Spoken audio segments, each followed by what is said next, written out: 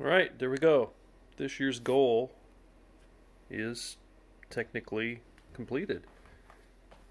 Um, yesterday, I got R2 on his feet. Did it by myself, which was a pain in the neck. Involved flipping up upside down because I forgot to attach the battery boxes when I had him on a box. Had some issues with the center foot because um, there's bolts that go down and secure it. The bolts screw into the ankle under there um, with some captured square nuts and I put hot glue in to secure the square nuts so they wouldn't fall out but I didn't put enough glue to hold them in the proper position so because the ankle itself is angled backwards the square nuts were gravity was making them fall down to the point where when I put the bolts in they were screwing in, but they weren't going through the center of the nut. They were just hitting the edge of the nut. So they seemed like they were screwing in, but if you pulled on them, they just came right back out. So I had to take the ankle off and dig out the hot glue that was in there, put additional hot glue while having the bolts in the square nuts to hold them in the right spot, and that worked for a couple of them, but a couple of the others I still had an issue with.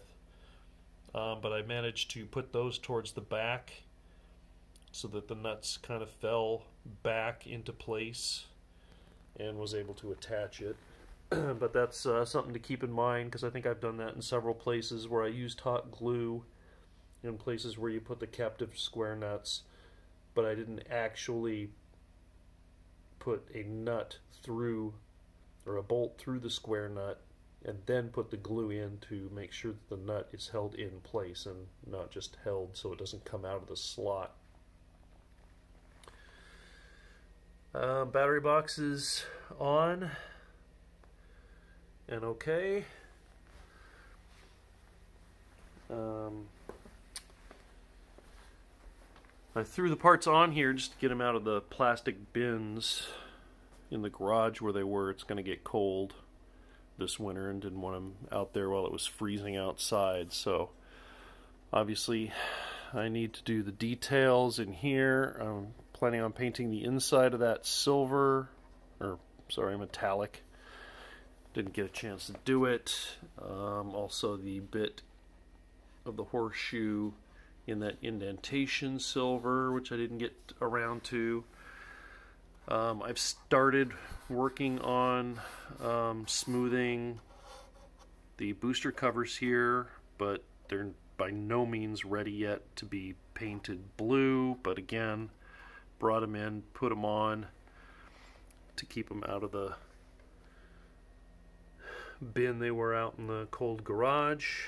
Um, battery box hoses in place. Uh, as Jason uh, Charlton sent me a comment in my previous video about them, and I noticed when I was putting them on the same thing he mentioned, which is the hoses inside these are fairly um, stiff, fairly rigid hoses.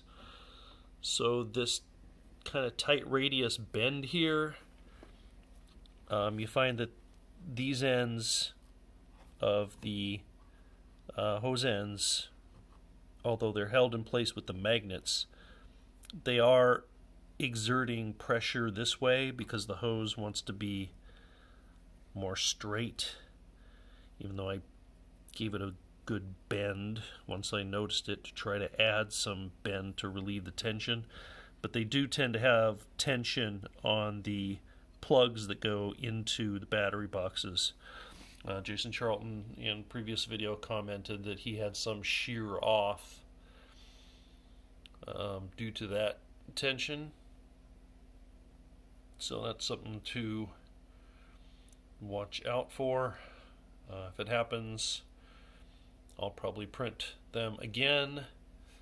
The part right there that screws into the battery box, I'll probably do those again in PETG with a lot of um, perimeters to make them stronger. Um, everything else seems to be okay. I have no power, but he does. He does roll, so that's good. Um, I noticed on the carpet that his bottom of his feet are pretty much touching the carpet because of the just of the weight. Without any batteries or electronics or the dome the weight is enough to sink the wheels into the carpet pretty much right up to the foot shells so that was something I was a little bit surprised at so yeah um, nothing else new past the other videos other than the fact that he's now on his feet so I'm not sure what I'm gonna do next exactly. I'm so relieved to have this done and the weather is not good for painting so not sure whether I need to start the electronics, which stinks in a bit, in a way, because it involves spending a lot of money. Or maybe I could, even though it's cold out, continue some sanding and prep work. Um, the doors, I haven't even done a rough sanding, much less any filler or primer. Um, there's always that. Same with some of the greebles. The coin returns um, I have started to work on, but the octagon port pieces I haven't done anything with. And uh, what are they? The the other one I can never remember the name of the power coupler one. It has the circle in the center. That one I haven't done any work on. So there's plenty of stuff that I could be working on along with the actual dome. Um, I could start sanding on the dome. I also can get my Lazy Susan out and attach the Lazy Susan and then maybe lay the um, dome ring over the top of it just to see how things are, are lining up with that. But yeah, main point of this video was to show that he is now on his feet. This is the place where I had always planned on him living.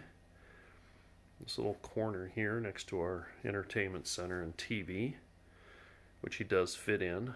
Um, I have not measured from the outside of the foot shell to the outside of the foot shell to see if he would have fit through the door in my um, project room. He is awful wide, so I'm not sure if he would have. In fact, I don't know if he'll fit out the front door for sure, but uh, just another thing to be wary of if you're making one of these.